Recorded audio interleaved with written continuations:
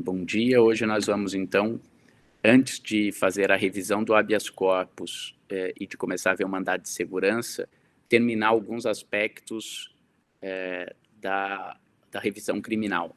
Na nossa última aula, nós falamos basicamente em relação à revisão criminal das hipóteses de cabimento, dos três eh, incisos eh, do artigo 621. Vimos, é claro, que tem que se tratar de uma sentença condenatória, transitada em julgado, e que na petição inicial da revisão criminal já deve ser juntada esta prova é, do trânsito em julgado, né? normalmente uma cópia dos autos da própria decisão, sentença ou acórdão, e da certificação do trânsito em julgado, e vimos as hipóteses de cabimento. Os três incisos, o inciso primeiro trata de duas situações, quando aquela condenação contrariar a lei penal ou a evidência dos autos. Vimos que a contrariedade à lei penal é uma contrariedade à lei em sentido amplo, né? aqui muito diferente do que nós vimos no recurso especial extraordinário. Aqui é qualquer ato normativo que tenha tido uh, relevância jurídica para aquela condenação, então pode incluir leis estaduais, leis municipais, lei federal, regimento interno dos tribunais, atos normativos complementares de norma penal em branco e a própria lei processual. Violações da lei processual autorizam a revisão.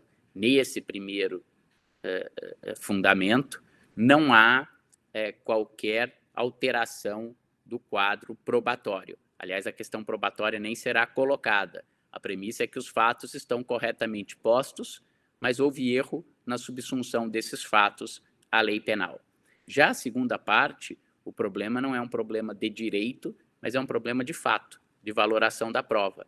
É a situação em que a condenação penal contrariar a evidência dos autos. A prova dos autos era no sentido de absolvição, mas a sentença ou o acórdão acabaram sendo condenatórios. Então, nesse caso, o que vai se pedir é que se revalore todo o conjunto probatório e mostrar ao tribunal que aquele conjunto deve levar a uma conclusão oposta, a conclusão da inocência e não a conclusão da condenação.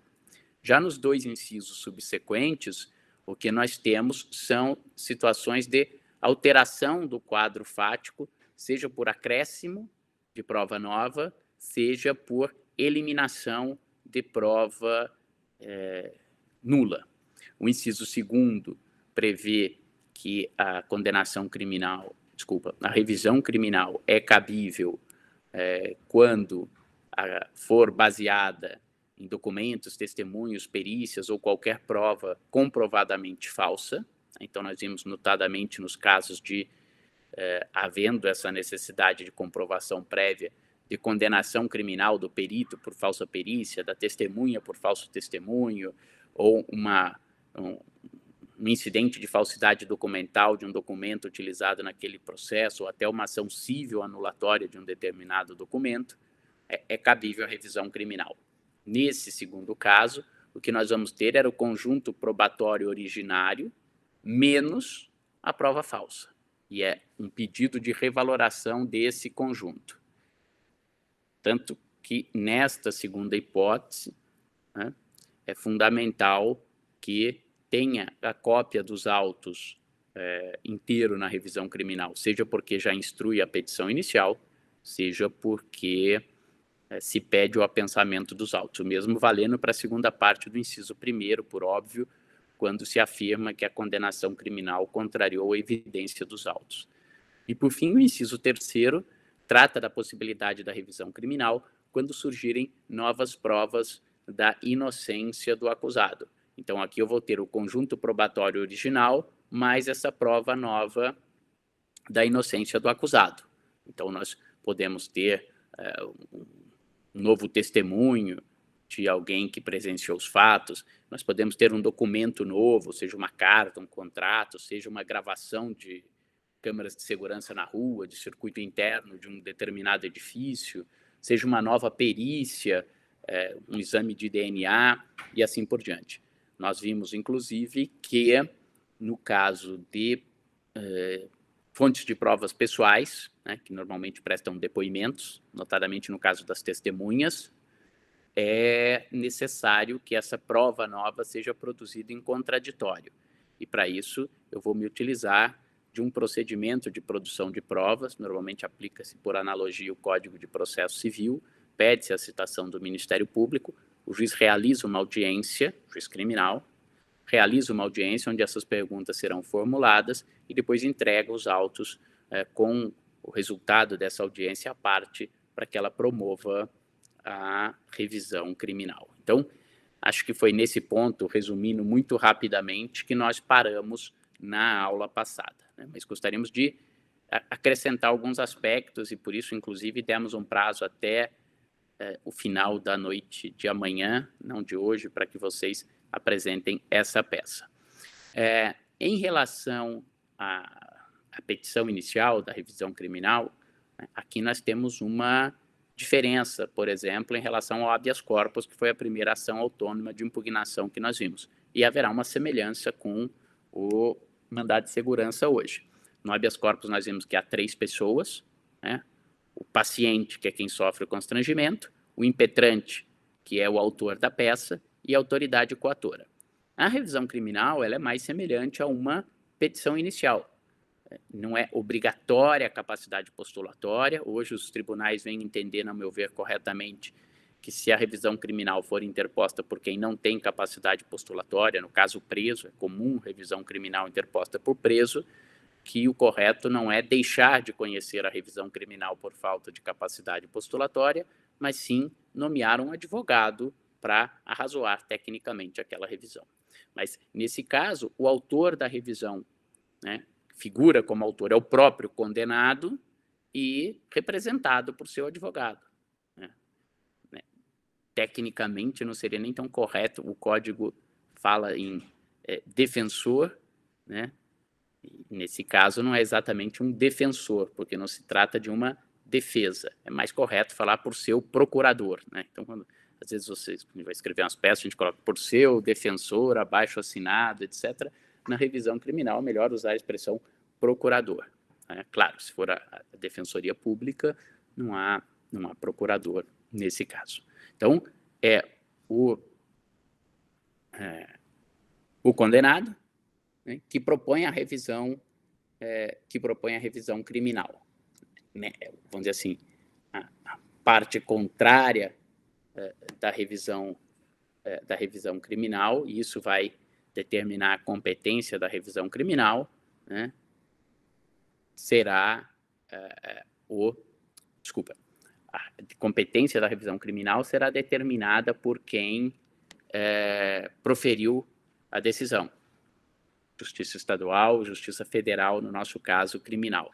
E a parte contrária será o Ministério Público né, até antecipando, mesmo nas situações em que se pede uma indenização, alguém perguntou na, na final da aula passada, em que se pede uma indenização, a doutrina entende que o Ministério Público, nesse caso, funciona como um substituto processual da Fazenda Pública. Eu, particularmente, não sei a opinião do Andrei, é, é, eu particularmente discordo. Eu acho que é uma solução mais fácil de resolver, mas essa posição vem de uma sistemática constitucional anterior, em que na Constituição de 37, na Constituição de 46, na de 67 e na Emenda Constitucional número 1 de 69, na disciplina do Ministério Público, e era uma disciplina muito mais reduzida, era previsto que o Ministério Público poderia funcionar como substituto da Fazenda Pública em juízo. O Ministério Público tinha essa função de funcionar como é, um representante da, do Estado. Né?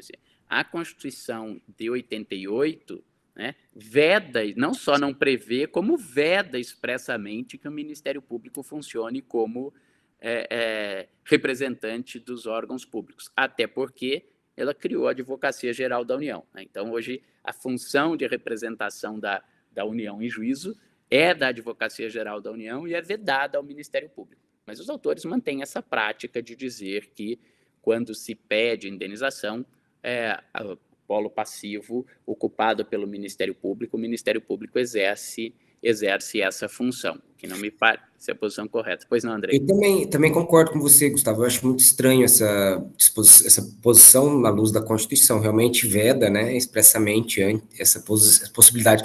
Eu queria saber na prática, Gustavo, é, quando vocês pedem indenização, o Ministério Público continua fazendo? Porque eu até pesquisei para ver se eu achei alguma, achava alguma coisa, mas eu não vi.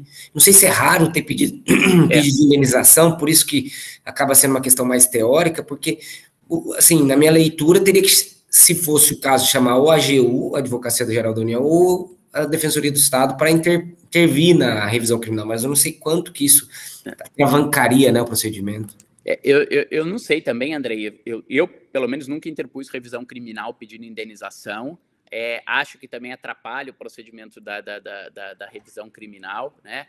É, e como eu disse na aula passada, acho que é até mais fácil você ganhar a revisão criminal, depois promove uma ação perante a fazenda, né? Até porque nós teríamos aí é, é, complicações caso a fazenda fosse condenada, depois para execução, precatório, etc. Eu acho que é um, um, um, complicador grande da situação.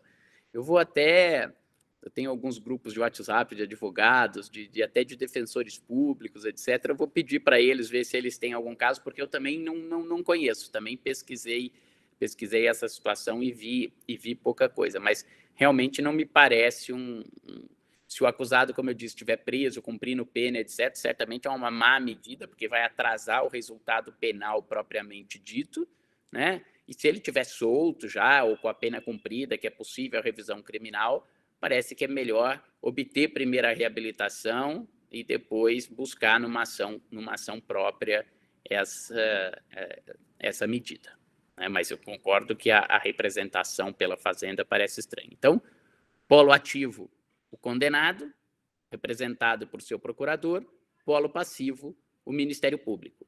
Se o réu foi condenado pela Justiça Estadual, polo passivo, Ministério Público Estadual. Se o réu foi condenado pela Justiça eh, Federal, o polo passivo será eh, o Ministério Público Federal. Faço aqui já e aproveito uma observação com relação à competência para revisão criminal. A regra de competência para revisão criminal, ela é né, semelhante ao que nós vimos no habeas corpus. É, só em primeiro grau. Depois, a regra é simples, a competência é do tribunal responsável pelo acórdão que você estiver querendo rescindir. Então, ah, desculpa, Arthur, eu, pois não? Agora que eu vi que você estava com a mão levantada. Ah, professor, minha pergunta é só se a terminologia utilizada na revisão criminal é autor e réu também, ou, ou é um outro nome? Olha, assim, eu... É Normalmente, eu pelo menos utilizo o condenado, que é a expressão do código. É difícil falar assim, o autor e o réu na revisão criminal, até porque você ia estar chamando o Ministério Público de réu também, fica um negócio meio, é, é, é, é, é meio, meio, meio, esquisito, né? É, tem gente que usa o revisionando para se referir ao autor da revisão criminal, como aquele que pede a, a, a revisão criminal, né? Como o, código fala no condenado, e é condenado mesmo, é preferível chamar, mas pode falar o autor da revisão criminal, mas acho que o réu da revisão criminal para o Ministério Público fica, fica esquisito. Entendi, obrigado. Tá bom, de nada. Então, com relação à competência, é importante notar o seguinte: então, em regra, é o tribunal que proferiu a condenação que é o competente para revisão das suas condenações. Então, se a condenação é do Tribunal de Justiça, um acórdão condenatório, pouco importa se em primeiro grau ele foi absolvido ou condenado, mas se o que transitou em julgado é um acórdão do Tribunal de Justiça ou do Tribunal Regional Federal, competência para revisão criminal é do Tribunal de Justiça ou do Tribunal Regional Federal. Se o acórdão que transitou em julgado é um acórdão do Superior Tribunal de Justiça, e portanto nós estamos falando de uma é, de um recurso especial, a competência para revisão criminal é do Superior Tribunal de Justiça. Se o acórdão, ou, né, no caso de competência originária do próprio Superior Tribunal de Justiça. Se o acórdão que transitou em julgado é do Supremo Tribunal Federal, seja em recurso extraordinário, seja em ação de competência originária do Supremo Tribunal Federal, a revisão criminal é do Supremo Tribunal Federal. Tá bom? Se o que transita em julgado é a sentença de um juiz de primeiro grau, obviamente a revisão criminal não vai para o próprio juiz, aí ela vai ser intentada perante o tribunal ao qual aquele juiz está vinculado. Então, o réu foi condenado pela, sei lá, por uma juiz criminal da comarca uh, de uh, Camboriú. Vai ser para a Justiça Estadual de Santa Catarina, que vai ser é, para o Tribunal de Justiça do Estado de Santa Catarina, que vai ser intentada aquela revisão, aquela revisão criminal.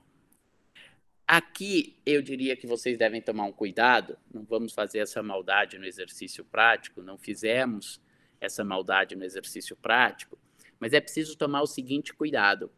Às vezes a questão chega ao Superior Tribunal de Justiça e ao Supremo Tribunal Federal, mas por aquelas questões técnicas que nós já vimos do recurso especial extraordinário, ah, não pré-questionou a matéria, ah, o réu está querendo fazer uma análise de prova, etc., o resultado final do recurso é, acaba sendo não conheço o recurso especial, não conheço o recurso extraordinário.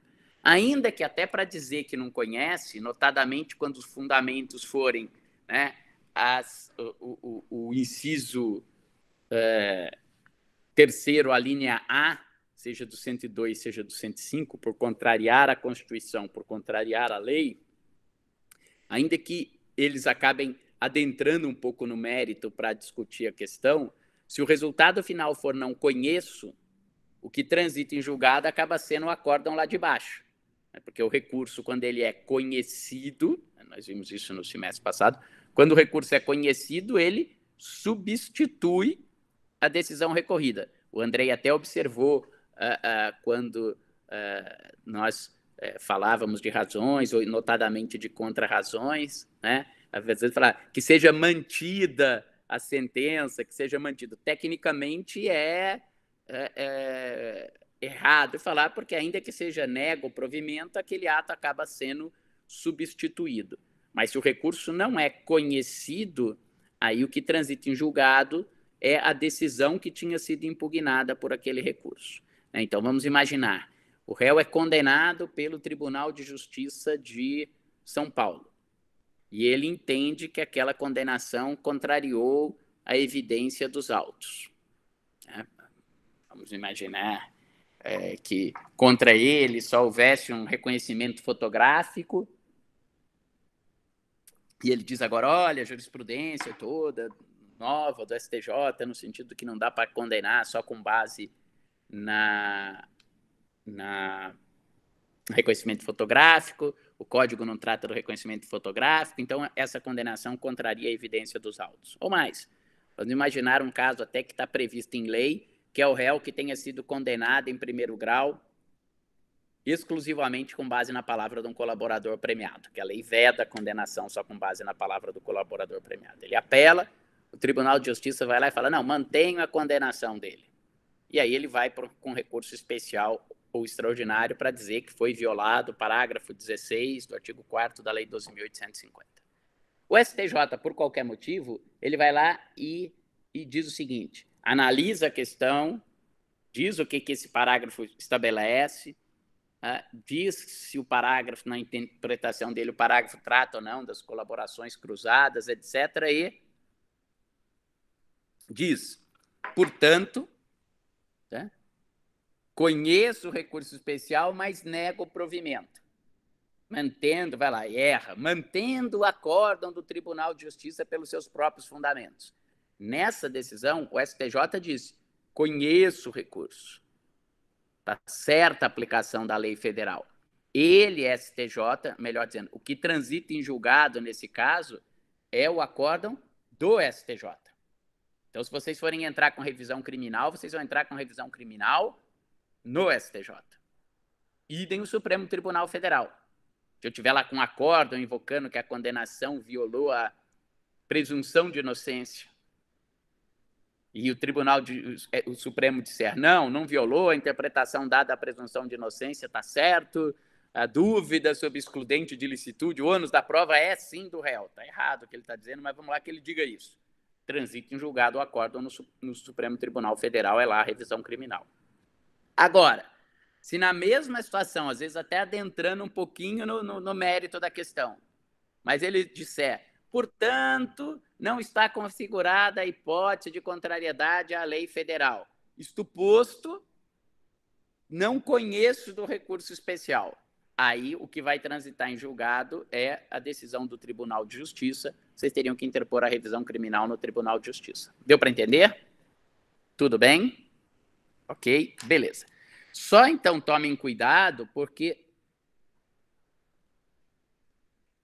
se a revisão criminal for interposta perante o Superior Tribunal de Justiça ou o Supremo Tribunal Federal, quem atua no Superior Tribunal de Justiça e no Supremo Tribunal Federal é o Ministério Público eh, Federal. Então, mesmo que a condenação seja uma condenação da Justiça Estadual. Né?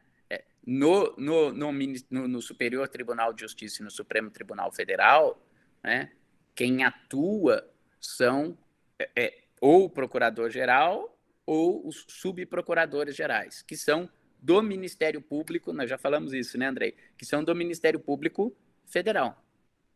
Então, se foi lá que transitou em julgado, quem vocês vão pedir para ser citados na revisão criminal é o Ministério Público uh, Federal. Tá bom? Isto com relação à é, competência. Gustavo, só, só, em relação à questão da competência, tem a dos Jeffs, né, que teve é. uma divergênciazinha, mas quando é da turma recursal, se entende que aí é do tribunal, né? Não tem revisão criminal na turma recursal, né? Ex exatamente. Bem lembrado, Andrei.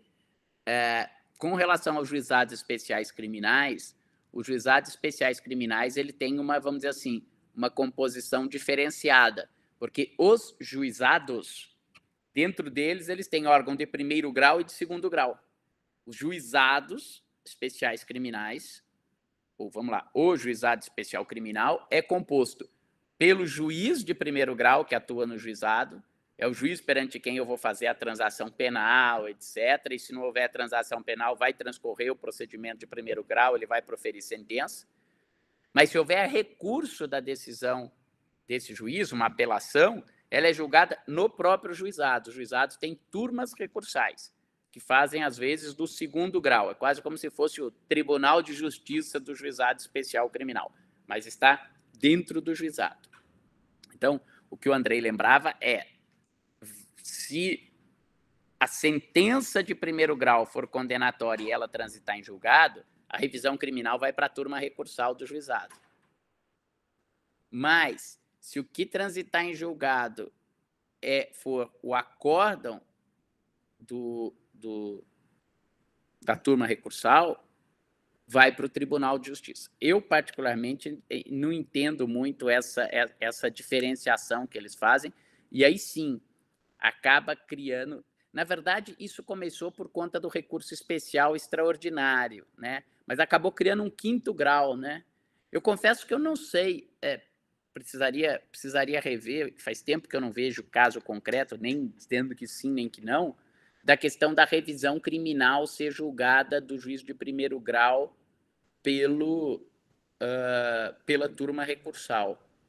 Eu acho que pelo como só cabe de é, como a, eu acredito que a turma recursal não teria atribuição, teria de, é, é seria sempre pelo tribunal, é. é, do TRF ou pro TJ, porque então, Exato, mas é, é, curioso, né? Porque, por exemplo, falando na matéria seguinte, o mandado de segurança eles admitem. Sim. É, não há uma coerência, coerência, da jurisprudência em uhum. considerar, é verdade, em relação.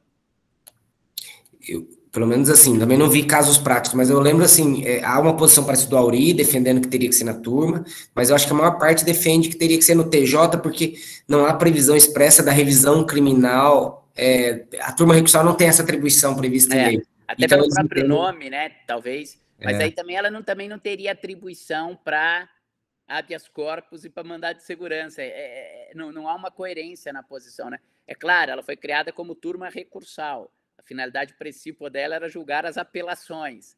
Né? Então você poderia até dizer, mas é, é, é estranho porque, veja, os juizados especiais criminais, que eram para ser céleres, simplificados, etc., eu posso ter um grau a mais, né? mesmo no recurso especial. Eu, teria, eu tenho que sair, é, não, tem, não tem muita coerência.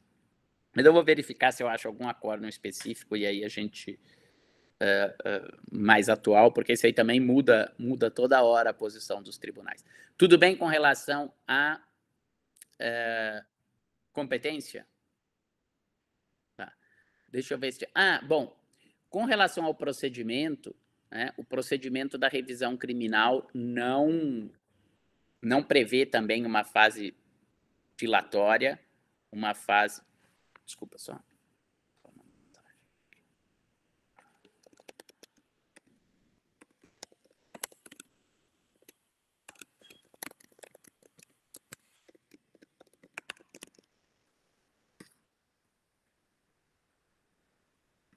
Não prevê uma fase de produção de prova, né? então o procedimento uh, da revisão criminal, é, ela dá entrada no tribunal, ela é distribuída.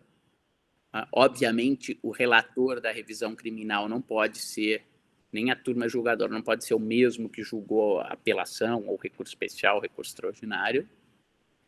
Há uma possibilidade no código do relator indeferir liminarmente a revisão criminal, Vamos dizer que vocês interpõem uma revisão criminal e não juntem prova do trânsito em julgado. Dizer que seja interposta uma revisão criminal contra uma sentença que homologa a transação penal, não admite revisão criminal. Nesses casos, né, não será é, é, admitida liminarmente. Se ela for admitida, né, é determinada a resposta pelo Ministério Público, a citação do Ministério Público para resposta. Depois da resposta, há um parecer e, por último, o processo é levado a julgamento. Tá? Não é comum, aliás, nos habeas corpus, é, muitos de vocês não pediram liminar, depois nós vamos comentar isso. Não é comum na revisão criminal, aliás, é incomum, já explico por quê, pedido de liminar. Não tem previsão no regimento, no regimento não, no Código de Processo Penal, de cabimento de liminar em revisão criminal, como não tem previsão de liminar em habeas corpus. Dá para pedir liminar na revisão criminal?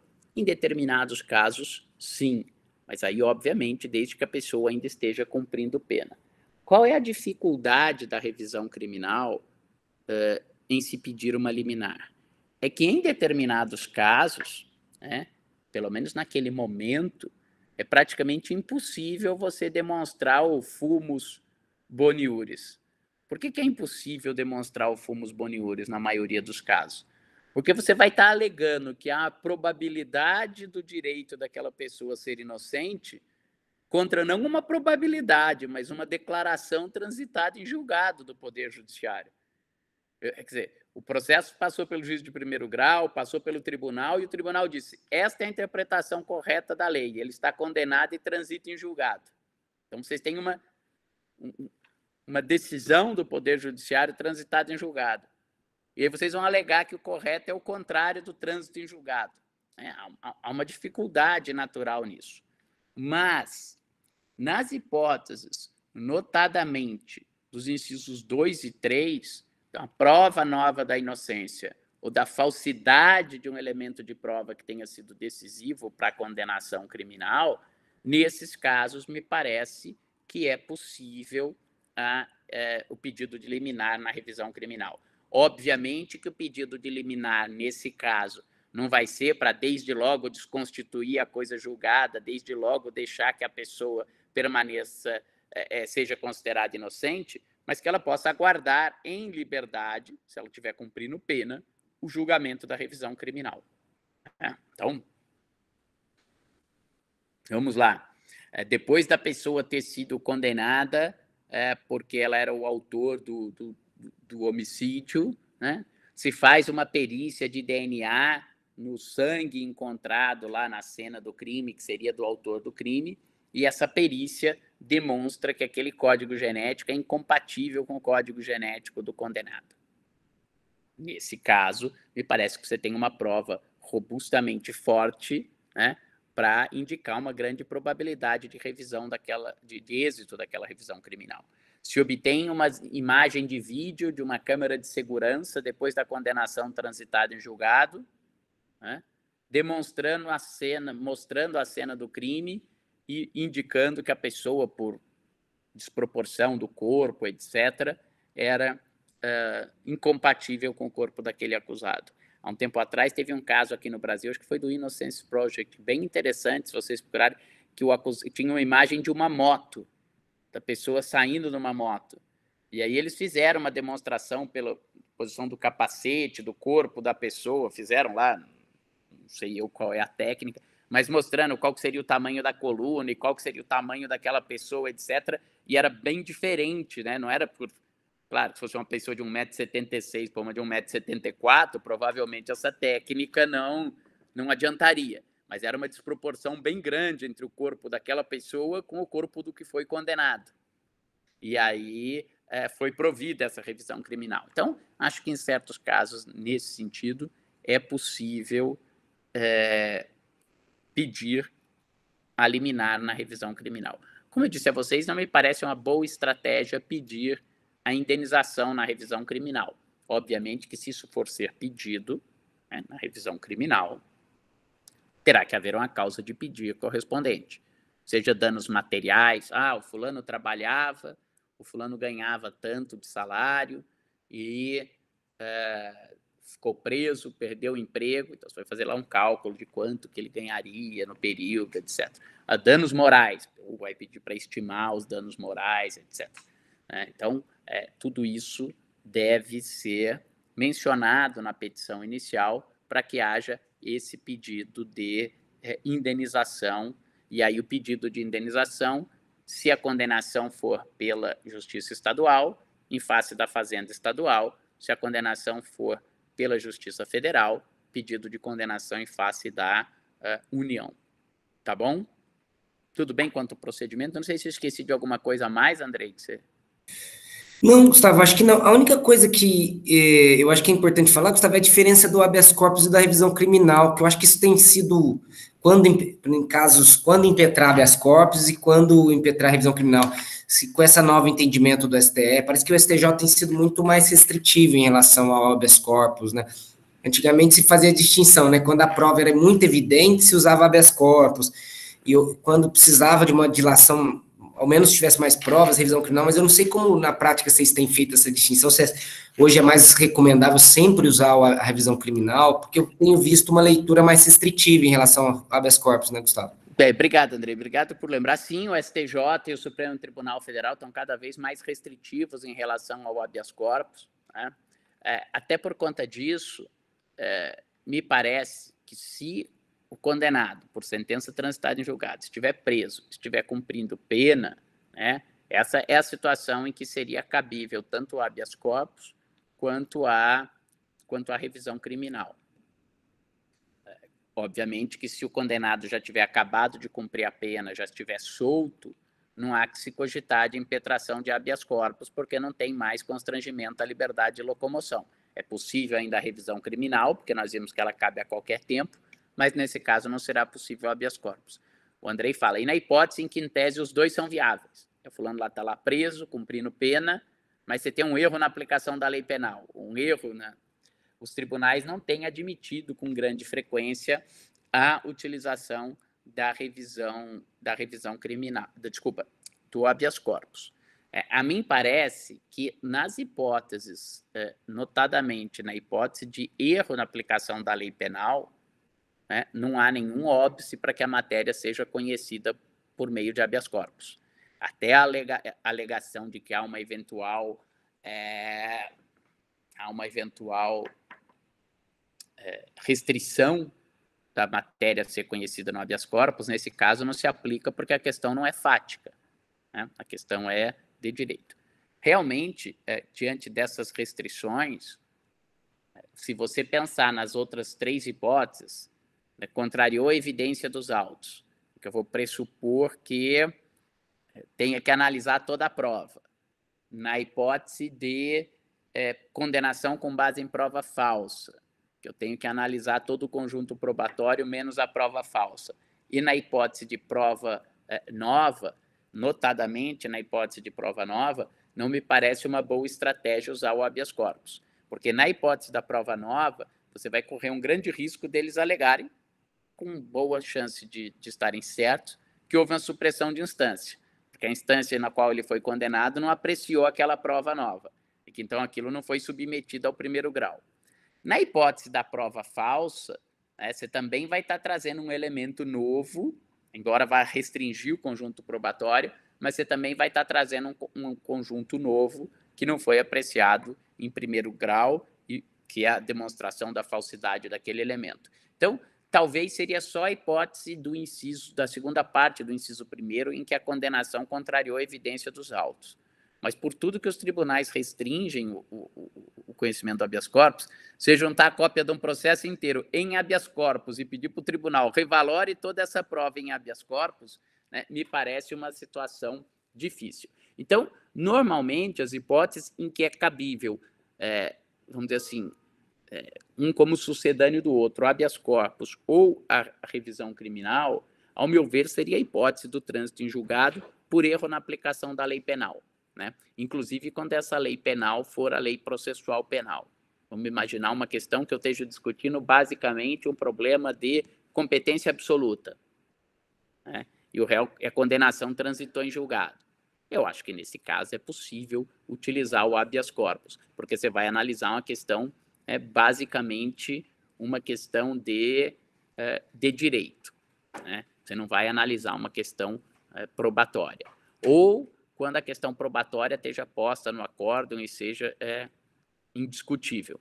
Vamos pensar, por exemplo, num caso como o, o, o nosso de hoje do, do habeas corpus, uma hipótese de é, flagrante preparado, né, como crime impossível. Talvez numa situação dessa, desce. Uh, se o réu estiver preso, notadamente, o réu não, o condenado estiver preso, notadamente nessa situação, eu tentaria o habeas corpus primeiro. Até porque, vai, o tempo que vai levar, se eles acharem que não cabe o habeas corpus, o tempo que vai levar para eles negarem esse habeas corpus é uma semana, dez dias. E depois, se for o caso, você entra com a revisão, você entra com a revisão criminal. Tá? Uh, mas nas outras hipóteses de valoração da prova, não me parece recomendável em qualquer delas, inciso 3, inciso 2 e segunda parte do inciso 1, é, interpor habeas corpus, notadamente se for para os tribunais superiores. Talvez para os tribunais de justiça você ainda poderia ter alguma chance, mas eu não, não usaria. Eu usaria, nunca tive nenhum caso desse, sempre entrei com revisão criminal, mas se fosse por erro na aplicação da lei, da lei penal, é, eu, eu tentaria o, tentaria o habeas corpus. Tá bom? Gustavo, acho que tem uma pergunta do na, ah, eu não tinha visto agora, desculpa. Obrigado, Andrei. Estava até Imagina, aberto aqui, mas eu estava falando. Vou, aqui.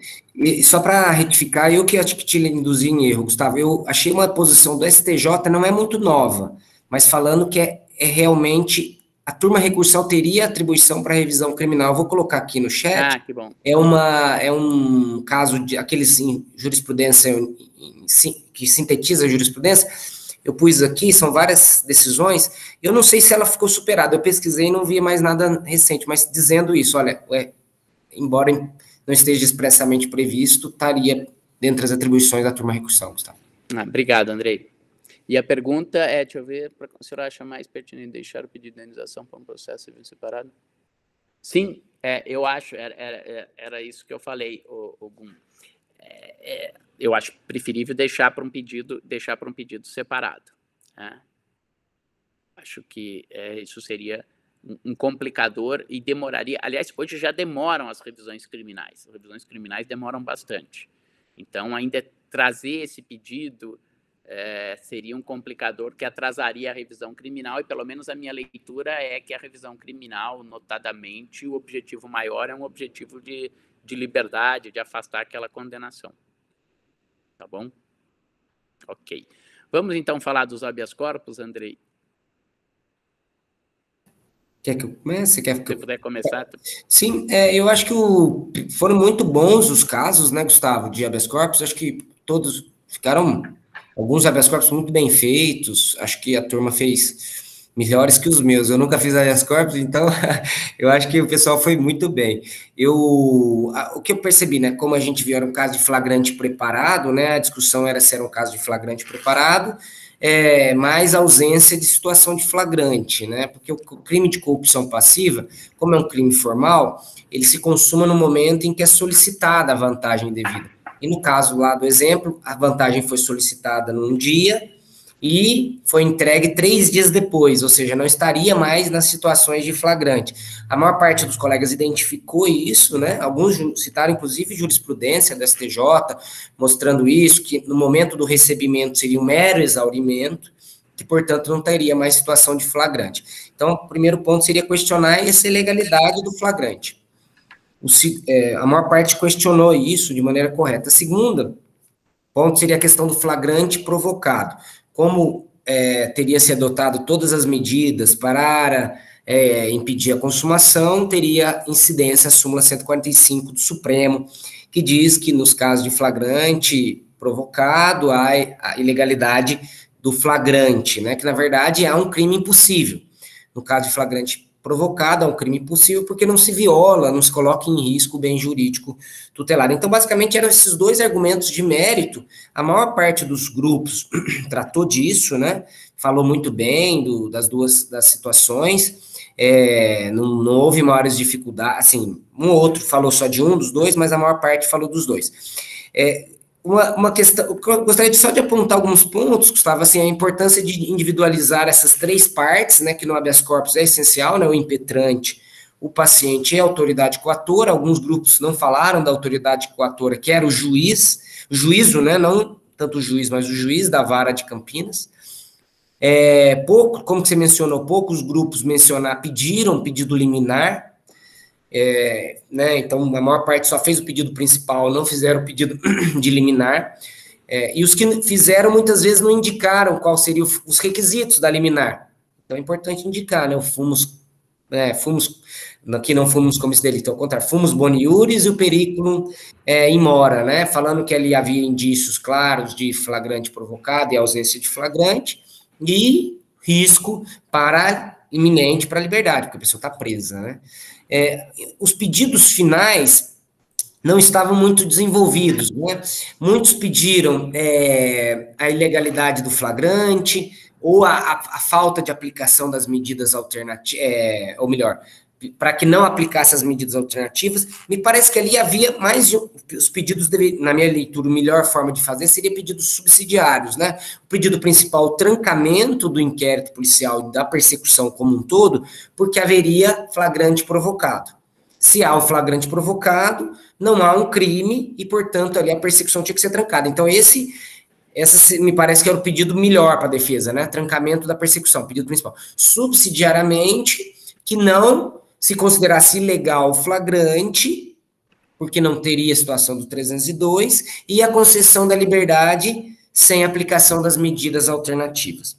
Isso me parece os pedidos mais é, concretos. Alguns grupos, a gente acabou não colocando isso no, no gabarito, né, Gustavo? A gente até conversou sobre isso, mas não achou necessário, mas alguns grupos foram além, inclusive questionaram as medidas aplicadas pelo juiz me parece que é razoável, é bem interessante questionar isso mesmo, porque há uma tendência, isso é explicado até pela nossa histórico do Código de Processo Penal, o nosso Código de Processo Penal, ele vem de uma lógica de que se tinha prisão em flagrante, o juiz tinha que aplicar alguma medida alternativa, é, a liberdade provisória com medidas, ou seja, é quase uma cautela necessária havia quase uma obrigatoriedade do juiz aplicar uma medida, ele nem tinha que fundamentar muito. Com a, a Constituição e com a lei em 2011, me parece que hoje a lógica é o contrário. O juiz tem a regra é a liberdade total, sem nenhuma medida cautelar.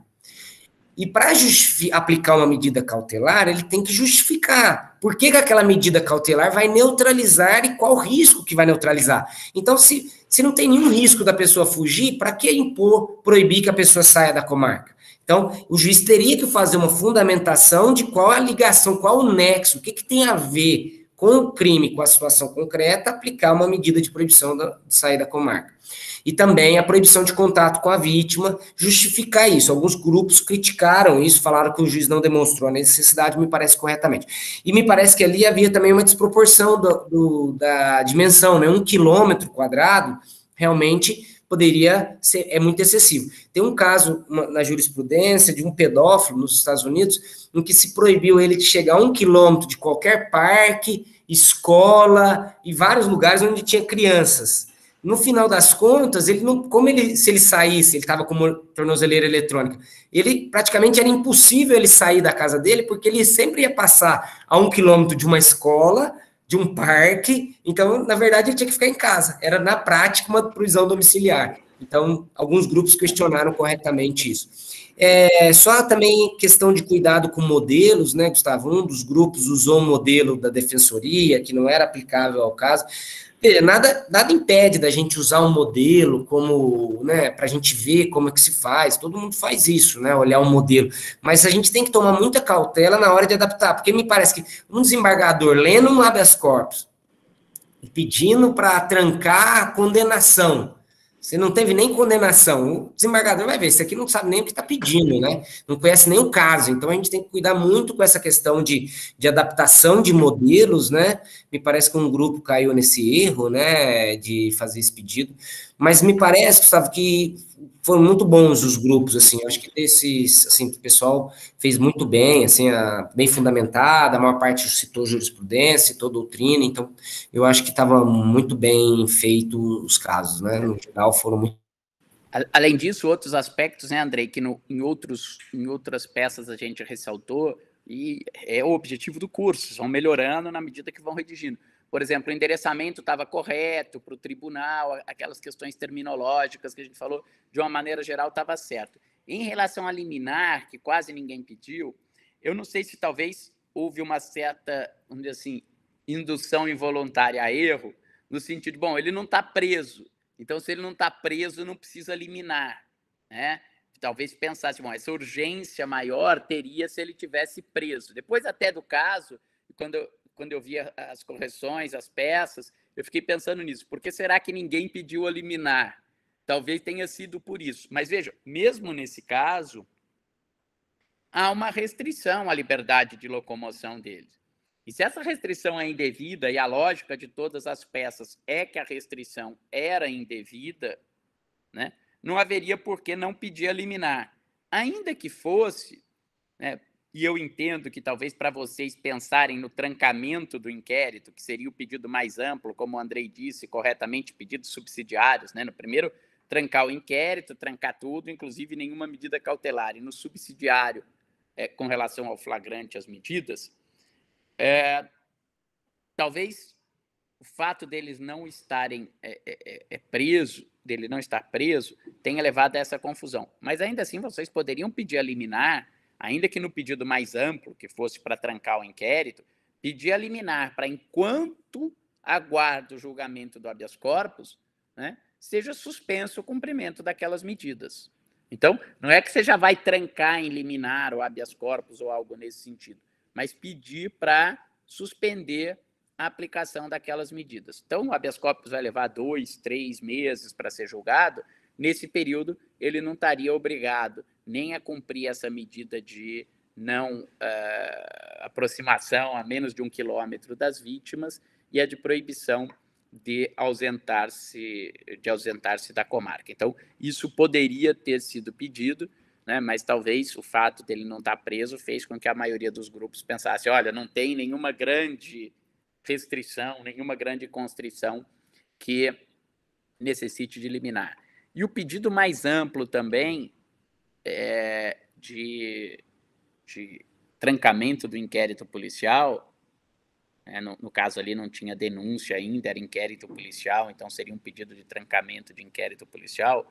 Penso que talvez também a maioria tivesse mais preocupada com a medida cautelar, né, Andrei? Não, não, não, visualizou a repercussão que aquilo teria para a persecução penal, para a persecução penal como, uh, como um todo. Mas eu concordo com o Andrei, de uma maneira geral, as peças foram foram bem feitas. O argumento do flagrante, confesso até que quando eu fiz a, o caso, eu pensei, bom, será que eles vão atentar para essa questão do momento consumativo da corrupção, que a corrupção não, não, não se consuma, a corrupção passiva com recebimento e sim com oferecimento, mas isso foi identificado por todo mundo, muitos citaram inclusive a súmula do Supremo Tribunal Federal 145, acho, né, que fala do flagrante, do crime impossível quando o flagrante é preparado.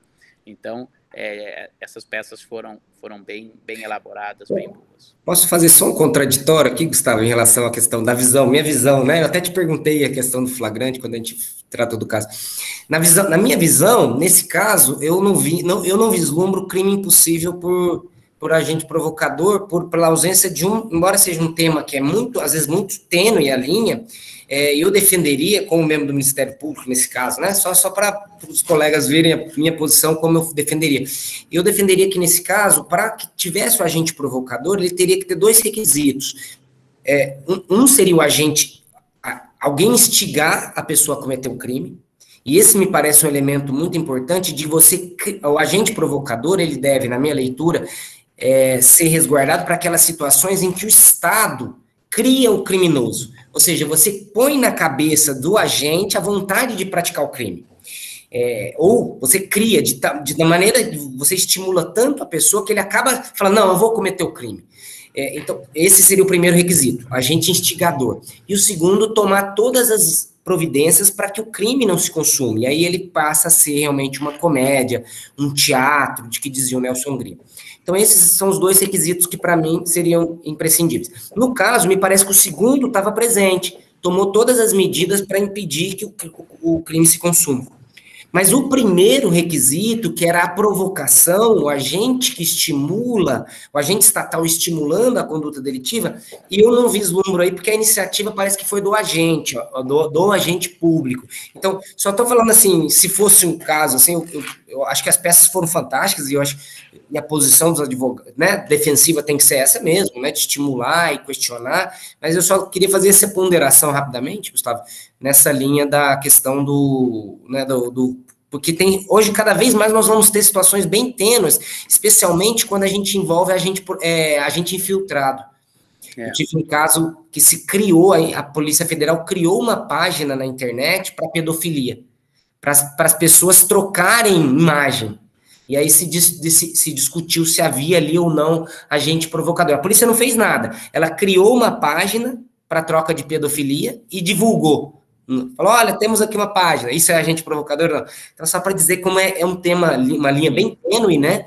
Se há ou não instigação e tudo, mas só queria só comentar essa, fazer essa ponderação. É, Andrei, eu tô, eu tô de pleno acordo com você, eu acho que no caso não era, né? Até por isso eu fiquei, ah, esse pedido de trancamento, assim, como advogado, você pediria, ó, oh, crime impossível tal. Mas, na verdade, veja, se o flagrante fosse na modalidade receber, Talvez você até pudesse dizer, ó, oh, eu vou tra traz tal dia tal. Mas, na verdade, o crime estaria consumado antes, no solicitar. E, pelo menos pela narrativa do caso, para o solicitar não teve nenhuma, nenhuma instigação. O fiscal da prefeitura chegou lá e falou: Ó, oh, se você me der tanto, eu não lanço essa área mais. É. Aí sim, num segundo momento, o cara foi na polícia, pegou o dinheiro, tirou cópia do dinheiro tal, e combinaram o momento da entrega. Né? Então, veja, isso não afasta a ilegalidade do flagrante. O flagrante era ilegal. No momento em que houve a prisão, era ilegal. Por quê? Porque não havia mais situação de flagrante. O flagrante tinha se consumado dois dias antes, lá no momento da solicitação.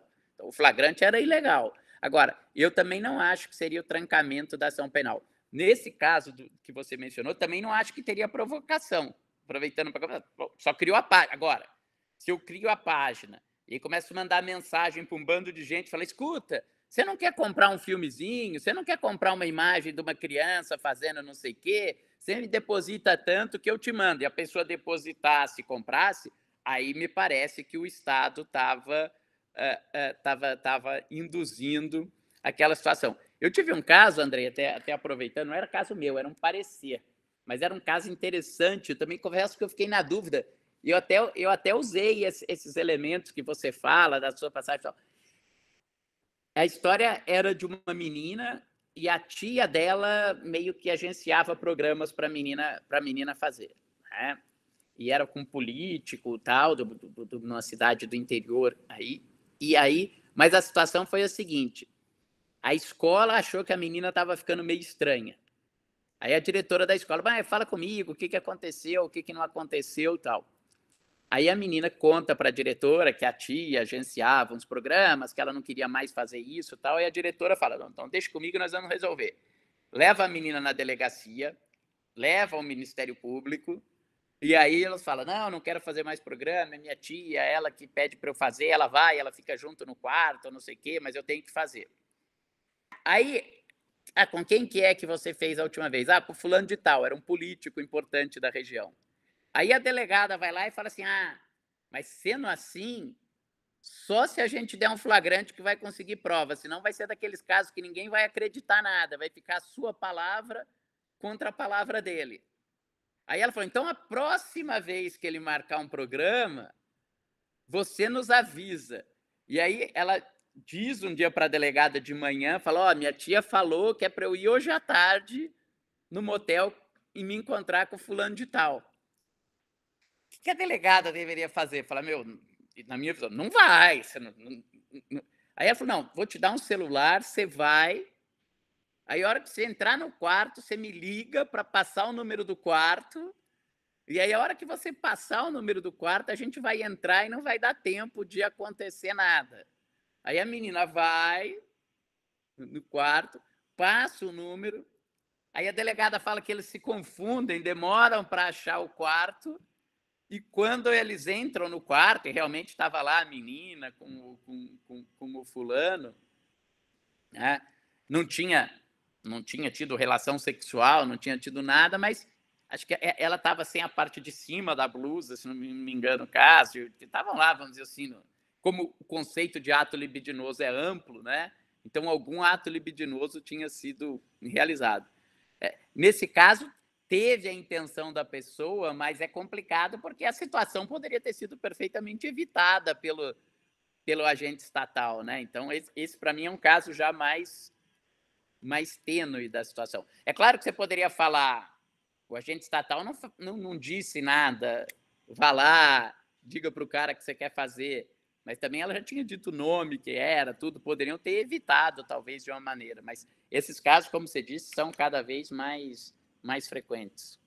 É, ainda mais agora com a lei restringindo a gravação ambiental, essas questões, no caso desse, o ideal era pedir uma autorização judicial para fazer uma ação controlada, talvez, né, Gustavo? Isso, até porque hoje você, a vítima, é você gravar uma pessoa amando de uma autoridade, a lei hoje, que é aquele homem de confiança, né? É. No, né? Então, o homem de confiança, alguma pessoa agir amando do Estado para gravar alguém, para fazer uma, uma, ação controlada, uma interceptação ambiental, isso hoje parece ser necessário até autorização judicial, né? Não sei se era o caso lá, se ela ia gravar também, mas... Não, não, não ia gravar. Né? A, a, o que a delegada queria era chegar lá e dar o flagrante com todo mundo pelado e tal, e falar, ó, oh, tá aqui.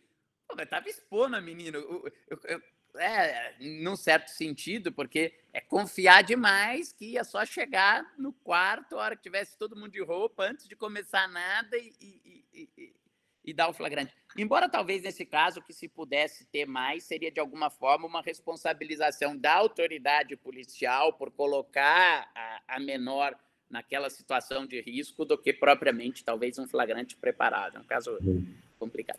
Bom, mas vamos falar então agora para para terminar as nossas práticas, o mandado de segurança contra ato judicial no processo penal.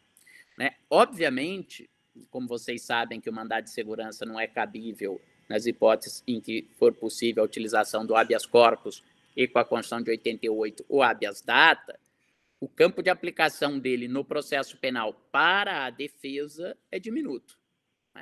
Porque como nós vimos na aula passada, retrasada, quando falamos do habeas corpus, como hoje se admite muitas vezes o habeas corpus, mesmo diante de uma ameaça longínqua à liberdade de locomoção, né? Tem uma nulidade que pode levar a uma sentença nula, a sentença nula pode aplicar uma pena privativa de liberdade, se ela pode aplicar uma pena privativa de liberdade, tem uma ameaça à liberdade de locomoção. Então, o habeas corpus acaba sendo quase que sempre é, cabível. Eu até trouxe, na, na, nós até discutimos na aula passada uma situação de mandado de segurança contra ato judicial pela defesa, na hipótese de crimes ambientais, em que quem poderia ser apenada era a pessoa jurídica e não a pessoa física, que é quem, afinal de contas, tem liberdade de locomoção para ser tutelada. Mas, é, fora isso, o mandado de segurança contra ato judicial pode ser manejado, notadamente, pelo Ministério Público, né, para tutela de posições da acusação, e pode ser utilizado também por terceiras pessoas no processo penal. Né? Então, só para dar um exemplo, depois a gente trata das situações, né? quando a vítima postula sua habilitação como assistente de acusação e tem aquela postulação indeferida por qualquer motivo, ela não tem recurso né, para utilizar, não é previsto o recurso, e ela não vai poder usar habeas corpus, porque ela lá, para ser assistente de acusação, não está para tutelar a liberdade de locomoção. É possível a utilização de mandado de segurança. Pensando no mandado de segurança como ação, e é uma ação, né, é, nós teríamos duas grandes vedações da sua utilização, quer identificada como impossibilidade jurídica do pedido, quer identificada como falta de interesse de agir por inadequação da medida, que seriam os casos em que é cabível habeas corpus ou habeas data.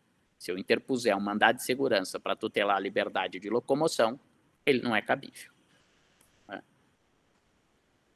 Habeas data no processo penal seria difícil de pensar na utilização. Depois disso, a lei 12.016 de 2009, que é a atual lei do mandado de segurança, ela veda o mandado de segurança em três incisos do artigo 5 né? O primeiro, que não nos interessa especificamente, que é contra o ato administrativo que ainda caiba recurso. Os dois incisos seguintes, o 2 e o 3, tratam de hipóteses que seriam é, passíveis de ter aplicação no processo penal. A primeira delas é a hipótese em que caiba recurso com efeito suspensivo. É, já era vedado e havia uma súmula do Supremo Tribunal Federal que vedava a utilização de mandado de segurança contra ato judicial do qual coubesse recurso. Mas a própria jurisprudência evoluiu diante dessa súmula no sentido de que tem que ser um recurso efetivo, né? um recurso que tenha a aptidão de afastar aquela lesão ao direito líquido e certo.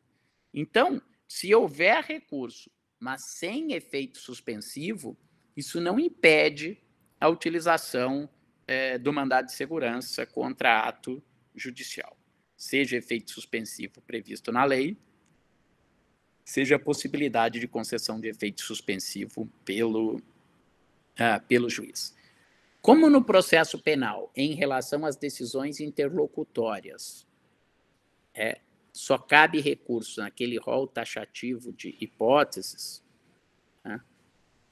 se não houver a previsão do recurso, é claro que cabe o uh, mandado de segurança contra ato judicial, a hipótese não passível de, de impugnação por meio uh, recursal. Por outro lado, se couber recurso, como a maior parte dos recursos em sentido estrito não tem a previsão de efeito suspensivo, né, nesse caso também seria cabível o mandado de segurança contra ato judicial. Relembro apenas que, se for vício processual, para a defesa é muito mais fácil utilizar o habeas corpus. Mas o Ministério Público, é, há situações em que ele tem a necessidade de utilizar o, o mandado de segurança contra ato judicial. É isso para atacar o ato. Uma outra questão em que se utiliza o mandado de segurança, e queria até é, ouvir o Andrei, é quando há recurso, mas o recurso não tem efeito suspensivo. Né? Aí seria a utilização do mandado de segurança para dar um efeito suspensivo que a lei não prevê aquele, é, aquele recurso. Então, nesse caso, só que aí a dinâmica é um pouco diferente, porque você interpõe o recurso e impede o efeito suspensivo. Né? O, o, Código de Processo Civil, já nas reformas do de 73, resolveu melhor essa questão, estabelecendo que você poderia pedir ao relator tanto a concessão do efeito suspensivo quanto a antecipação da pretensão é, recursal. Mas como nós não temos isso, normalmente se usa o mandado de segurança para dar esse efeito suspensivo. Gustavo, a gente usava mesmo, esse era bastante comum, a gente interpunha recurso em distrito, né, e impetrava mandado de segurança concomitante para dar efeito suspensivo, por exemplo, em casos de prisão, por exemplo, soltasse lá um líder do PCC, aí você impetrava mandado de segurança, é, interpunha recurso em distrito e impetrava é, mandado de segurança para dar o efeito suspensivo.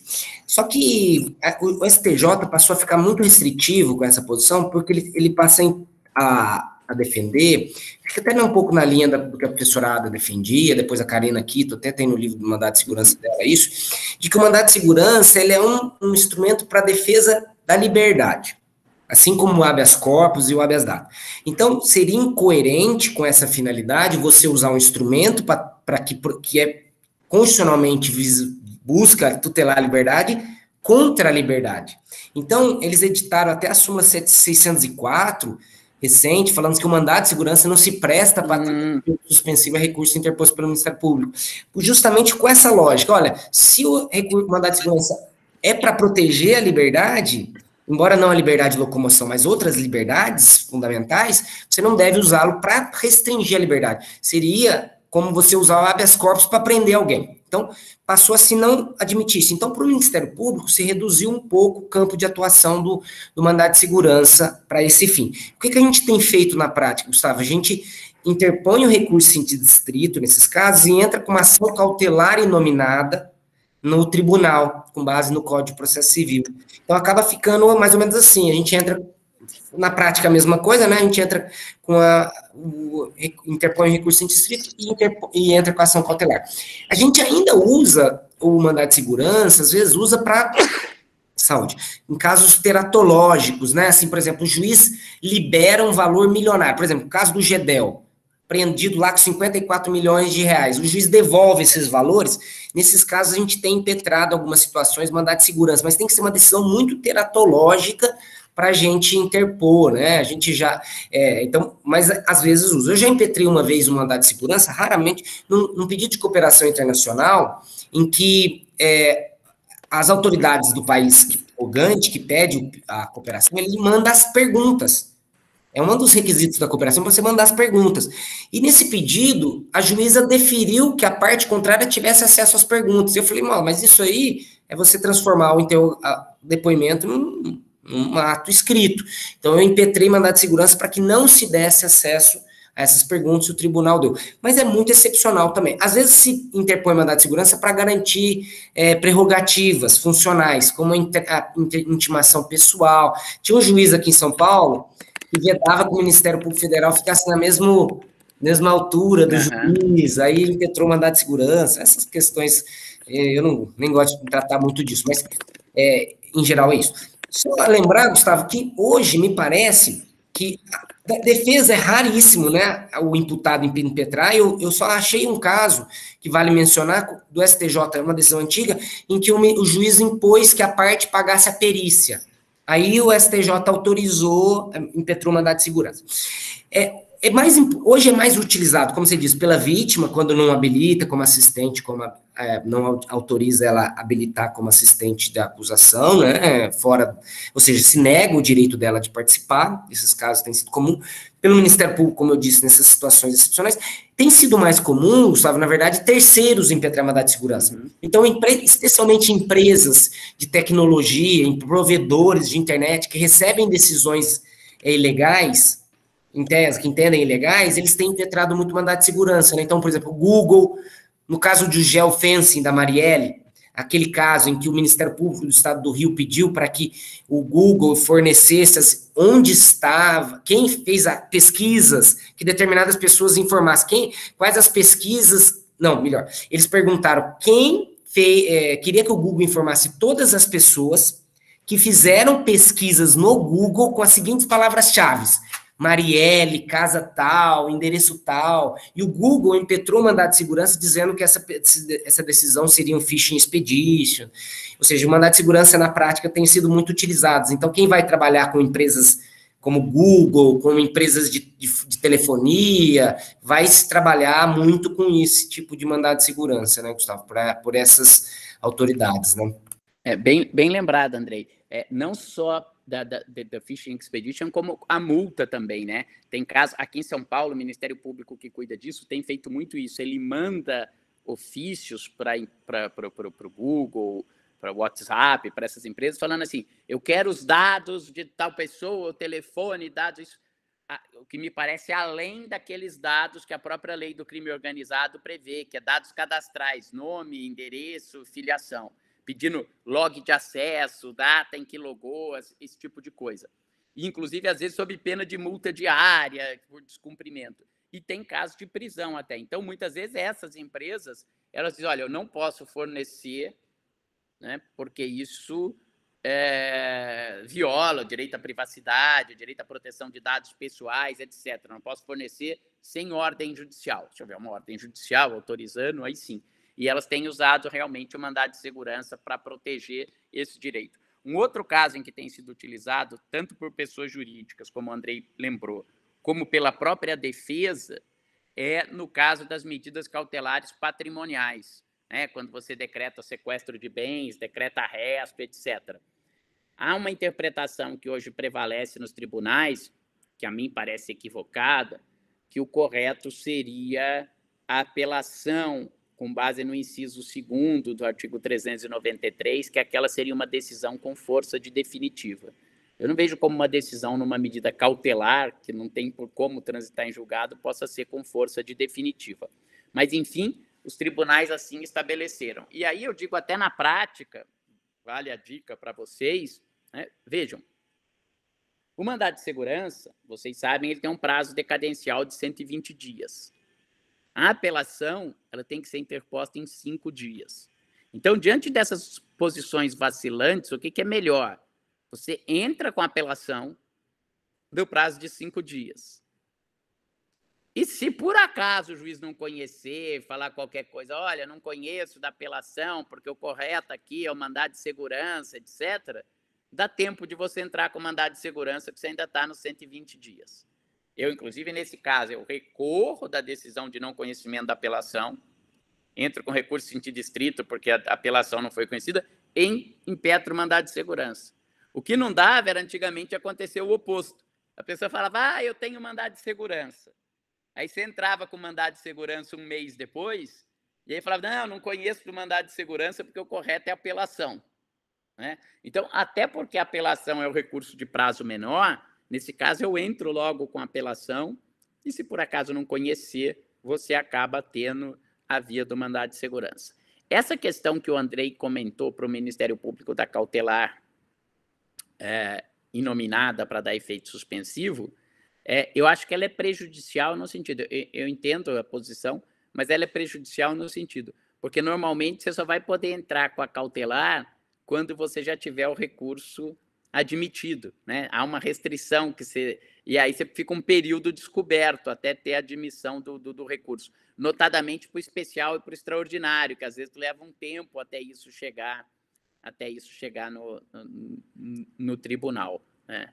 É, realmente seria muito mais fácil a previsão de que você pudesse pedir direto para o relator no, no, no tribunal. Nesse ponto, acho que o processo civil os advogados são mais criativos e acabam criando soluções mais, mais fáceis. Né? O projeto de reforma do Código, inclusive, vai substituir o recurso sentido estrito por um agravo nos moldes do agravo no processo civil, que você já interpõe o agravo diretamente perante o relator. Né? E aí, nesse caso, não vai ter necessidade de pedir uma medida cautelar, você poderia pedir para o próprio relator conceder, é, conceder esse, esse, esse efeito tá bom? É, pois não, Arthur. E depois não, Andrei primeiro, depois o Arthur. É, só uma, em relação ao advogado, só comentar, não sei se na prática antigamente se impetrava o advogado como quando as prerrogativas do advogado eram violadas, também se impetrava bastante mandado de segurança, em especial quando se negava a vista dos autos. autos. Né? Mas eu acho que hoje em dia, não, nesses casos de negativa de vista, como tem a súmula vinculante 14, em vez de impetrar mandado de segurança, me parece mais eficiente, mas eu queria né, que você confirmasse isso, entrar com uma reclamação direto no Supremo. Sim. Mas em, usava bastante isso. Talvez hoje ainda se use para os advogados quando se viole talvez a prerrogativa de, de sigilo, cliente advogado, por exemplo, obrigar o advogado a depor, vedar advogado em CPI, que esses casos, já teve caso assim, né? Uhum. Advogado em CPI. Então, talvez também para as prerrogativas, mas aí quem está impetrando é o advogado, né? E não propriamente o, o, o cliente, né? É. Eu, eu, eu acho, Andrei, que, que, que sim. Eu, nos casos que eu tenho negativa de vista dos autos, tive um recentemente, interponho a revisão, interponho a reclamação, né? principalmente quando é juiz de primeiro grau, vamos dizer assim, é mais, vamos dizer assim, persuasivamente, acho que quando um juiz recebe o ofício do Supremo numa reclamação, é mais, é mais forte do que outra coisa. Então, tem interposto. Nesse caso que você mencionou, é curioso que é, o, o caso que levou ao reconhecimento, aquele acordo do, do ministro Sepúlveda Pertences, do direito à vista, que depois levou à edição da súmula, ele começou com mandado de segurança.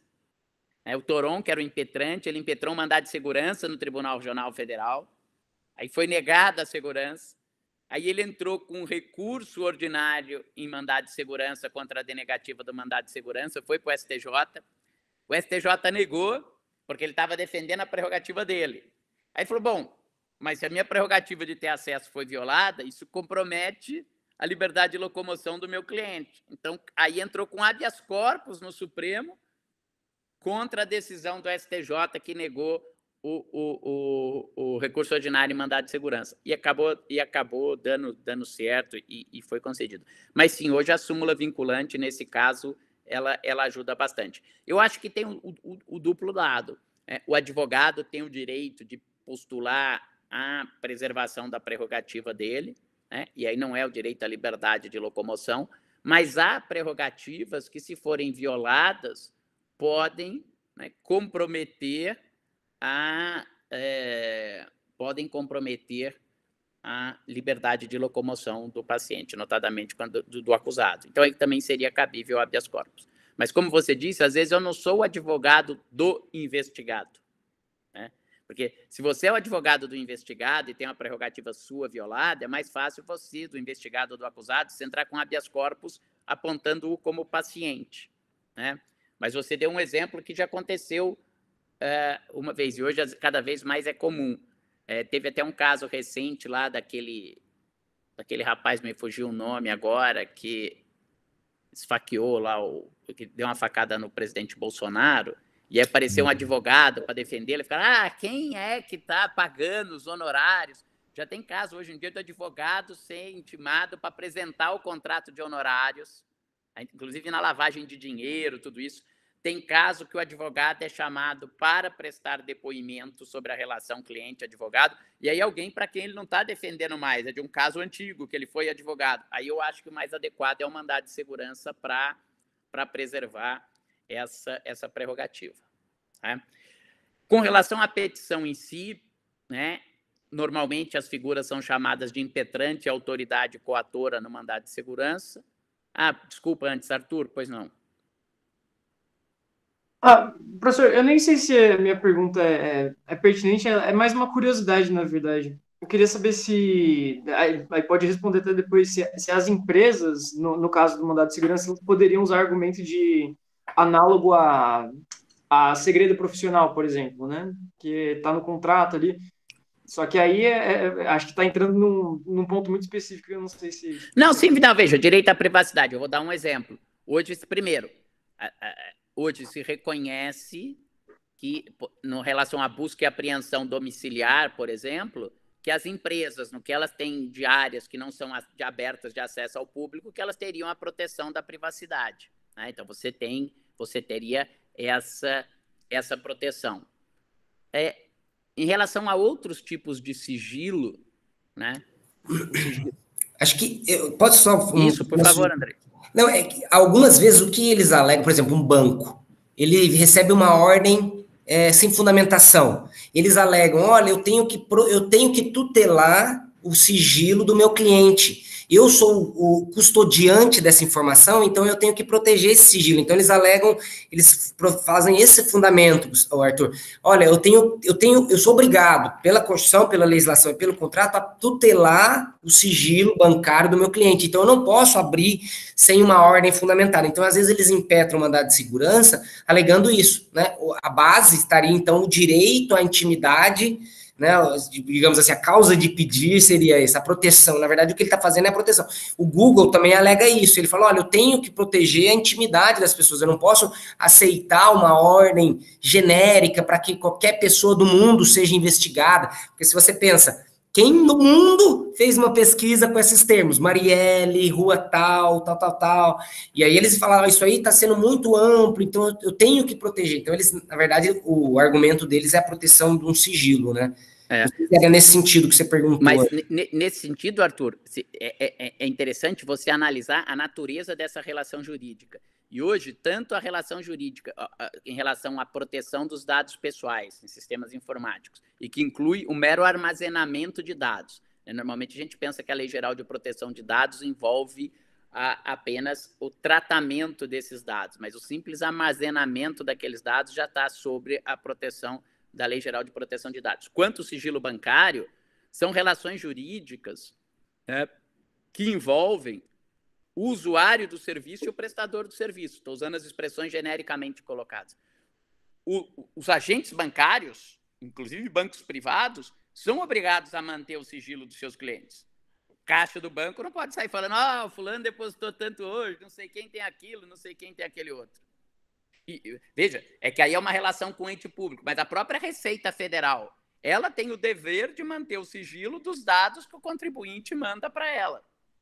Então, nesse caso, e as leis que tratam desses sigilos como manifestação da privacidade impõem esse dever legal de sigilo. E, e, se ela violar esse sigilo indevidamente, claro, se chegar uma ordem judicial fundamentada, etc., ela vai entregar e vai dizer: estou amparada aqui numa ordem judicial. Mas então, nesse caso, a utilização do mandado de segurança né, é, é também para tutelar um, um direito dever dela. Ela fala: eu recebo os dados em confiança, eu tenho que preservar. É, é claro que o, o, há interesse, pode haver até há interesse econômico em manter, mas ela tem, portanto, essa legitimidade para fazer essa para fazer essa tutela. Tá bom? Então, as figuras são impetrante e autoridade coatora. Né? Eu uso a expressão autoridade coatora semelhante ao mandado de segurança. No âmbito do mandado de segurança em geral, há uma questão que diz respeito a diferenciar duas figuras: a autoridade coatora né? e o ente público ao qual ela pertence. Isso é muito comum nos mandados de segurança contra atos administrativos. Né? Então, por exemplo, eu quero fazer um desembaraço aduaneiro de uma mercadoria. Aí o, o, o, o auditor que está lá cuidando diz: não, você não pode porque falta tal documento ou não tem aquilo. Quem é autoridade coatora é aquele auditor fiscal. Mas o mandado de segurança tem que ser impetrado contra o ente público ao qual ele pertence. Então, a autoridade coatora vai ser a Receita Federal. Né? Mas isso não me parece que tenha uma aplicação, e lá eles justificam, inclusive, por questões de, de custas, de quem pode ser. No âmbito criminal, não, no âmbito de ato, impugnação de ato jurisdicional, não me parece que tenha essa, é, essa necessidade. E isso não vem sendo seguido. Eu vou identificar como autoridade coatora é, juízo da terceira vara criminal, eu teria que, se fosse assim, dizer que a autoridade coatora é o Poder Judiciário do Estado de São Paulo.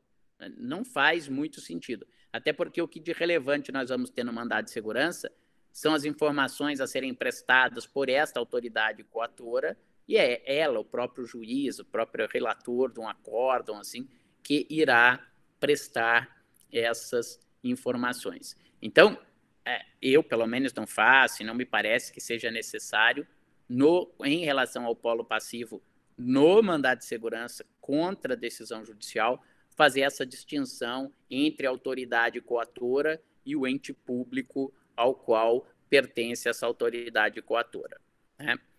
A, é, a lei do mandado de segurança prevê a possibilidade de concessão da liminar no mandado de segurança, e aqui chama a atenção de vocês é, é, para dois aspectos.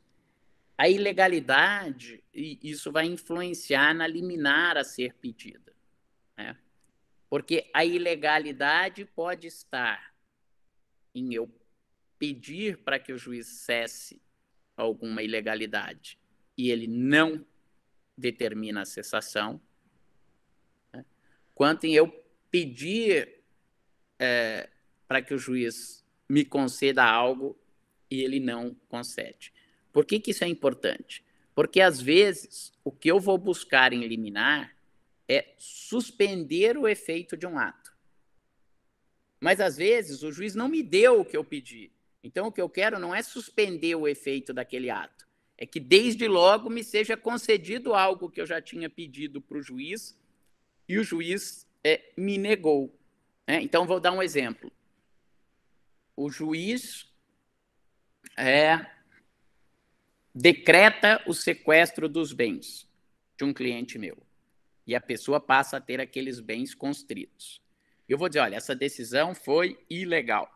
O sequestro de bens cabe apenas em relação ao produto do crime, né? Produto do crime é o que vem depois da prática delitiva. Ele está sendo acusado de um crime cometido em 2018 e esse bem que foi sequestrado ele adquiriu em 2010. Portanto, logicamente, esse bem não pode ser produto do crime. Portanto, este sequestro é ilegal. E aqui é uma matéria até que eu consigo provar documentalmente. Mas o que, que eu quero? É que, desde logo, cesse esse constrangimento ilegal a esse direito líquido de certo, de, que na verdade é uma manifestação do direito líquido de certo de propriedade do meu cliente. Então, eu vou pedir uma liminar semelhante àquilo que eu falei na revisão criminal, às vezes no habeas corpus. Eu vou pedir que, ao final, o tribunal reconheça a ilegalidade da decisão que decretou o sequestro e reforme aquela decisão né, para afastar o sequestro de bens. Esse é o pedido principal. Mas desde já eu peço uma liminar para suspender a eficácia jurídica desse ato que determinou o sequestro de bens. Então, por quê? Porque aqui eu quero fazer cessar a eficácia de algo que está causando um constrangimento ilegal. Outras vezes, o que eu quero é um efeito que o juiz não me deu. Então vamos dar um exemplo que o Andrei lembrou. A vítima pede para se habilitar como assistente de acusação.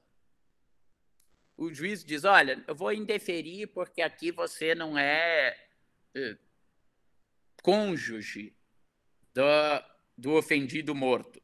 Bom, bem, não sou cônjuge porque não era casada, vá lá, para usar a expressão popular. Não era casada de papel passado. Mas olha, nós vivemos em união estável há tanto tempo, nós moramos juntos, nós temos filho, etc. Então, eu tenho sim legitimidade para ser assistente de acusação. Só que veja, o constrangimento não está em o juiz ter deferido algo. O constrangimento aqui está no juiz ter indeferido o ingresso dessa pessoa como assistente de acusação. Né? E vamos imaginar que eu tenho uma audiência de instrução e julgamento dali a 15 dias, dali a 20 dias. Então eu vou dizer, se eu for esperar o tribunal julgar o mérito do mandado de segurança para dizer que eu tenho direito de ser assistente de acusação, provavelmente o processo já vai ter terminado em primeiro grau. Então, daí eu vou entrar com habeas com mandado de segurança para pedir ou que aquela audiência seja redesignada para só ser realizada, para ser julgada depois do julgamento do mérito, do mandado de segurança, ou vou pedir para que o tribunal autorize a que a pessoa participe é, como assistente de acusação daquela audiência. Eu já tive um caso em que aconteceu exatamente isso. E aí vale até a pena lembrar, né, Andrei? Alguns de vocês pediram a liminar, mas não fundamentaram o pedido de liminar na revisão criminal. Né? Normalmente a gente faz um item da liminar para explicar onde é que está o fumus e onde é que está o perículo. Em relação ao fumus, é até algo meio que repetitivo, porque o fumus vai estar na própria razão que você já invocou, de por que é ilegal, por que, que é isso, por que, que é aquilo. Normalmente no fumus eu, pelo menos, faço só uma síntese. Né? Conforme já exposto no item anterior, está demonstrada a patente legalidade da decisão que fez isso ou fez aquele outro. No nosso caso, está demonstrada a ilegalidade em não se admitir que o companheiro, porque não é casado formalmente, possa se habilitar como assistente de acusação. Ah, Constituição, tutela, não sei o que, tudo isso eu já defendi lá antes. Julgados, dizendo que o companheiro pode, mostrando que para assistente de acusação, às vezes até a mera dependência econômica, tio e sobrinho, não sei o que autoriza. Então, conforme demonstrado no item tal, a acepção de ofendido, ou de cônjuge, ou de sucessor é ampla, inclui certamente o companheiro, portanto, está demonstrada a grande probabilidade que ele tenha o direito. E aí eu vou mostrar o perículo. Né? Então, nesse caso, por que, que é um perículo? Porque a menos daqui a 10 dias vai ter uma audiência. Essa audiência é a parte mais importante da instrução do processo. Se eu não puder participar da audiência, eu não vou ter condição de fazer perguntas às testemunhas, né? e isso uh, poderá comprometer o meu direito como assistente de acusação. Nesse meu caso, eu ainda usei um argumento de reforço, porque às vezes é importante a ausência de prejuízo do reverso. Eu ainda coloquei uma série de julgados que diziam o seguinte: a participação irregular do assistente de acusação em audiência não anula o processo. Então, o que, que eu pude demonstrar com relação ao perículo? Que se o juiz, se a liminar não fosse concedida, eu não ia poder participar da audiência e isso geraria um prejuízo irreversível, porque eu estaria privado de fazer perguntas. Mas que se eu participasse e amanhã ou depois do mérito julgasse improcedente que eu não tinha direito, aquilo não levaria à anulação do processo. Então, às vezes, você usa argumentos de reforço para mostrar, ó, eu perco muito se a liminar não for concedida, mas ninguém vai perder nada se a liminar for deferida. Então, às vezes, a gente tem que desenvolver um pouquinho a mais esse argumento sobre a questão da, da liminar, notadamente em relação, em relação ao perículo. Né? Como o Andrei falou, por exemplo, sei lá, no caso do Gedel, você falou, se eu entregar 50 milhões em notas para uma pessoa, né, o dinheiro pode ser facilmente dissipado, não tem mais como você encontrar o dinheiro, etc, etc. Né? Então, às vezes você tem que usar, desenvolver um pouquinho mais o argumento, notadamente em relação ao perículo.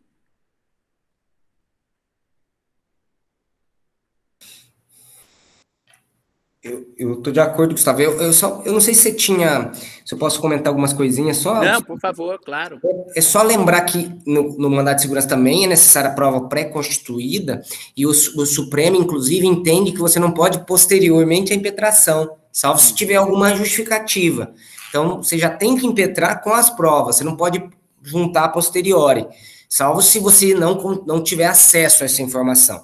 Então, inclusive, o STF já denegou o mandato de segurança, dizendo, olha, ele impetrou e depois que juntou. Não, não é, embora me pareça um certo formalismo, mas só chamar a atenção de que há posições nesse sentido. Em relação ao prazo, né, você comentou que é o prazo de 120 dias, Gustavo, e a doutrina, todo mundo fala que o prazo é decadencial. Só que eu achei, eu sempre tive dúvidas que, embora sendo decadencial, como se contava esse prazo se era de maneira penal ou processual. Eu encontrei um acordo do STJ usando a contagem processual, ou seja, então foi, era um caso que foi intimado numa sexta da decisão, e aí contou como primeiro, naquele sentido, começou a contar o prazo na segunda-feira, e aí começou a contar de maneira corrida os 120 dias. É, então, embora prazo decadencial, o STJ contou como se fosse processual. Mas a gente tem que ter um pouco cuidado em relação a isso. Talvez sempre, como falou, contar com uma certa margem, não deixar para ser muito próximo, porque isso é um tema que não é muito claro, ao menos na minha leitura, né, Gustavo, como é a contagem de prazo decadencial. É, eu vi, achei esse acordo, mas é um pouco, um pouco mais di, di, é, divergente. Em relação ao desconsórcio passivo, o Ministério Público, se eu impetro, então, mandado de segurança. Ah, bem lembrado. É, eu, eu tenho que pôr no polo passivo não só o juiz que liberou, mas também o GEDEL e o advogado dele, né? O GEDEL, né, no caso. não o advogado dele, o GEDEL, como litisconsorte passivo necessário, é a súmula 701 do Supremo, e a lógica é o seguinte, caso o juiz, o tribunal é, conceda a ordem e negue a devolução, é, aquela decisão vai atingir o GEDEL, e a defesa dele. Então, ele tem que participar daquele processo. Por conta, então, do contraditório, aqueles que vão ser atingidos pela decisão têm que participar do mandato de segurança. Então, é caso de litisconsórcio passivo necessário. Então, isso é importante, porque se você não coloca no polo passivo, então, no caso do Ministério Público, não coloca no polo passivo o juiz e a parte contrária, é, você, o seu mandato de segurança pode não ser conhecido, né? Pode ser é, pode ser extinto, né? É, também não é uma ação popular, né? Então, nesse caso, precisa de advogado. É, o STJ, eu me parece um pouco contraditória essa posição do STJ, mas o STJ entende que o mandado de segurança, mesmo usado na, matéria, em área, na área criminal, ele continua sendo uma ação civil. E isso tem como consequência a necessidade de você recolher custas. Então, se vocês forem impetrar mandado de segurança, mesmo na área criminal, é importante recolher as custas. Tem em posições do STJ várias decisões nesse sentido, dizendo que você tem que recolher custas, senão o seu mandato de segurança não vai ser conhecido. Então, cuidado com isso. Eu, eu até acho que não tem muito fundamento essa posição, porque se você está interpondo numa, na área criminal para fins criminais, deveria se transformar numa ação criminal. Até por isso que o prazo, né, que a gente pensa na reclamação, quando você usa a reclamação na área criminal, ela usa o prazo penal, né, do 798. Então, me parece que ele deveria ser essa mesma lógica, mas não é. Cuidado então com isso. Então é necessário recolher custas em mandado de segurança, mesmo na área criminal. É, em relação à competência, vai depender da autoridade coatora, basicamente a mesma lógica do habeas corpus, né, Gustavo? Se for juiz, vai ser no tribunal e assim por diante. E da decisões denegatórias de tribunal, ou seja, então, é, cabe a, o chamado ROC, né, que a gente às vezes chama de ROC, o recurso ordinário constitucional. Então, são dois requisitos, né? Que tenha uma decisão denegatória e que seja uma decisão de tribunal. Aí você pode impor, interpor o recurso ordinário constitucional. Então, interpôs mandado de segurança no tribunal. O tribunal denegou a ordem, denegou a segurança, você pode entrar com recurso ordinário constitucional. E a jurisprudência tem sido bastante ampla com o conceito de denegação, incluindo não só os casos de resolução de mérito, mas também sem resolução de mérito. Então, entende, por exemplo, que não, é, que não que perdeu prazo. Nesse caso, pode entrar com também recurso ordinário constitucional. Só esses pontos, Gustavo, só, embora tenha sido rápido, não relação a mencionar, né? Também o provimento parcial, né? Porque não deixa de ser uma denegação claro, da parte é. que foi improvida. Então, você pede pedido principal tal coisa, pedido subsidiário aquela outra. Ele concede o pedido subsidiário, mas você pode entrar com recurso para o pedido principal. Em relação ao prazo, Andrei, você tem razão. Quer dizer, o direito líquido certo, na verdade, é o que dá o mandado de segurança a natureza de ser um processo documental. Eu tenho que comprovar. E essa comprovação diz respeito à matéria fática, tem que ser com prova documental semelhante ao habeas corpus, porque eu não vou ter uma dilação probatória. Mas então, na verdade, a liquidez e certeza do direito, se nós pensarmos que em tese o direito que eu quero tutelar é um direito, né, um direito material, a liquidez e certeza é um atributo processual desse direito. É o atributo dele estar já demonstrado através de provas pré-constituídas, né?